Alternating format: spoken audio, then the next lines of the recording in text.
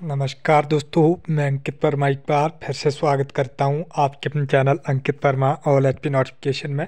तो दोस्तों, जैसे कि आप थंबनेल पे देख ही चुके हैं, ताज़ा खबर, ब्रेकिंग न्यूज़ आई है।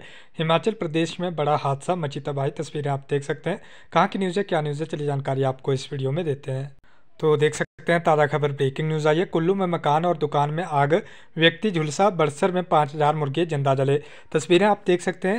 हिमाचल प्रदेश के जिला कुल्लू में एक ही दिन में आग लगने की दो घटनाएँ पेश आई हैं। पहली घटना में एक मकान में आग लगी है और व्यक्ति झुलसा है और दूसरी घटना में किराने की दुकान जलकर राख हो गई है। आग की चपेट में आया ओम प्रकाश। जानकारी के अनुसार कुल्लू के साथ लगते लग घाटी के डूगी लग में सुबह सवेरे एक मकान में अचानक आग लगी मकान ओम प्रकाश पुत्र मेहरू राम निवासी डोगीलक जिला कुल्लू का है। अगजनी के वक्त व्यक्ति सोया हुआ था। आसपास के लोगों ने आग की लपटों को देखकर उसे उठाया और आग बुझाने का प्रयास करने लगे।